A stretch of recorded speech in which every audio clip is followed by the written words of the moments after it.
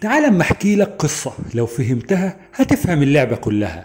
أنا شخص طبيعي وبتغذى كويس والحمد لله ما عنديش أنيميا. الهيموجلوبين بتاعي طبيعي وال MCV متوسط حجم الخلايا الدم الحمراء بتاعي طبيعي كلهم من 80 ل 100 فيمتوليتر والأمور زي الفل. حتى ال RDW طبيعي.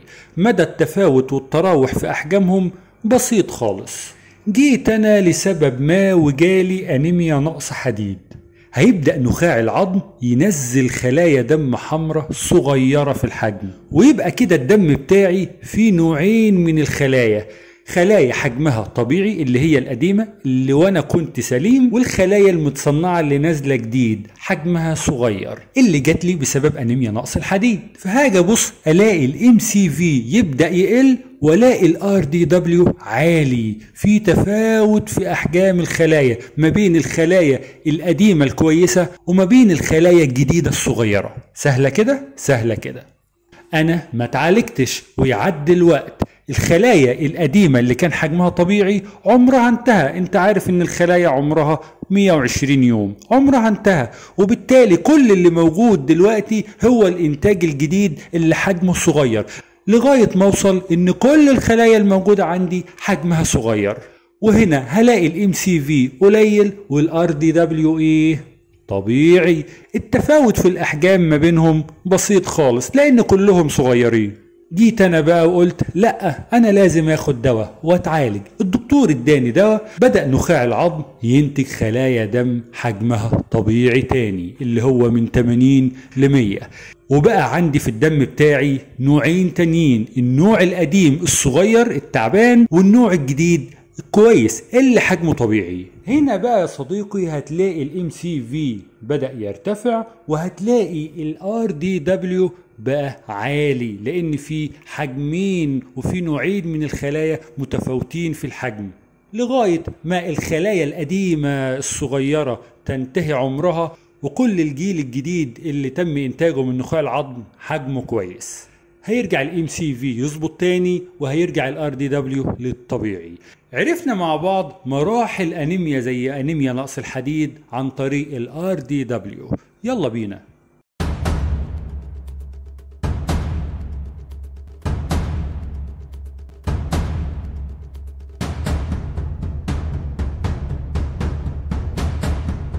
إزاي استفيد من ال RDW في التشخيص؟ من البداية كده دي مجرد ترجيحات يعني لازم الطبيب يتحرى باختبارات وفحوصات تانية واللي دارس hematology وأنيميات كويس هيقدر يستخلص منها أقصى فايدة. اولا تعالوا نتفق إن في عندنا أنيميا يعني الهيموجلوبين قليل.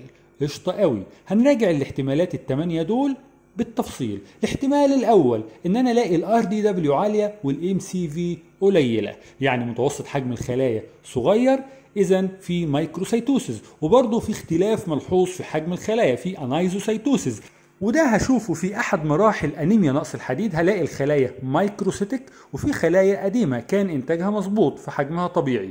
أو نفس الكلام مع حالة بتتعالج بالحديد فعندي خلايا صغيرة قديمة وخلايا جديدة مظبوطة. عندي two population تاني حاجة في أنيميا البحر المتوسط هلاقي فرق في أحجام الخلايا. تالت حاجة لو في عندي أنيميا شديدة سببها مرض مزمن. أو لو في عندي قطع متكسرة من خلايا الدم الحمراء أو لو عندي هيموجلوبين H أو حد عنده أنيميا الفول. الاحتمال الثاني عند ال RDW طبيعي أما ال MCV قليل. يعني متوسط حجم الخلايا صغير اذا في microcytosis لكن تفاوت حجم الخلايا طبيعي. هنلاقيها مع ال hereditary spherocytosis دي انيميا وراثية فيها شكل الخلايا بيكون كروي وبتكون microcytic أو شخص حامل لأنيميا البحر المتوسط أو لو في أنيميا سببها مرض مزمن أو في أنيميا نقص الحديد اللي بقالها فترة طويلة. الاحتمال الثالث ال RDW عالي وال MCV طبيعي يعني متوسط حجم الخلايا طبيعي. اذا هي normocytic normocytosis. وبرضه في اختلاف ملحوظ في حجم الخلايا في anisocytosis. هنلاقيها مع بدايات مراحل أنيميا نقص الحديد. هلاقي الخلايا لسه normocytic وفي خلايا جديدة مش مظبوطة في الحجم. في عندي two population وبرضه في بدايات مراحل أنيميا نقص فيتامين B أو حمض الفوليك. هلاقي الخلايا لسه normocytic وفي خلايا جديدة مش مظبوطة. في عندي two population وممكن اشوفها في أنيميا الخلايا المنجلية هلاقي فرق في أحجام الخلايا. الاحتمال الرابع RDW طبيعي MCV طبيعي يعني متوسط حجم الخلايا طبيعي. اذا هي normocytic في normocytosis وبرضه تفاوت حجم الخلايا طبيعي. ودي بنشوفها لو شخص طبيعي أصلا حجم الخلايا طبيعي والتفاوت طبيعي ده شخص سليم. أو في المشاكل بقى في واحد عنده مشكلة بتصيب نخاع العظم عنده myelodysplasia والخلايا مش بتتحول من الصورة الغير ناضجة ال immature إلى الناضجة ال mature اللي بتنزل الدم. أو حصل له نزيف ما أو لو عنده أنيميا سببها مرض مزمن. أو لو في تكسير في الدم hemolysis أو لو عنده حاجة اسمها chronic lymphocytic leukemia سرطان دم لمفاوي مزمن. أو سرطان دم نخاعي مزمن. chronic myeloid leukemia CML أو لو عنده خلل أو اعتلال في الهيموجلوبينات hemoglobinopathy. الاحتمال الخامس يا صديقي ال RDW عالي وال MCV عالي. يعني متوسط حجم الخلايا كبير. اذا فيه macrocytosis وبرضه في اختلاف ملحوظ في حجم الخلايا anisocytosis وده هنشوفها في انيميا نقص فيتامين B أو حمض الفوليك هلاقي الخلايا حجمها كبير أو في الأنيميات التكسيرية المناعية وفي حالات تلزن الدم بالبرودة ال cold agglutinins ومع الناس اللي مدمنين هباب على عينهم كحوليات.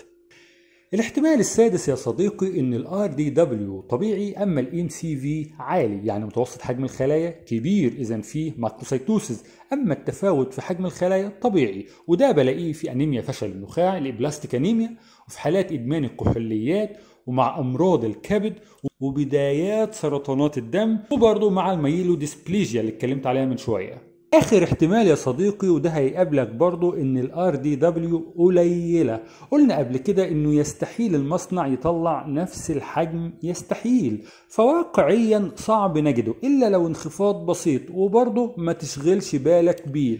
لكن حسابيا ممكن مع بعض حالات أنيميا فشل النخاع وحالات أنيميا البحر الأبيض وبنعتبرها طبيعي. أما الاحتمال الثامن والأخير إن أنت تضغط لايك وتشير للفيديو ده عندك وتستنى الحلقة اللي جاية.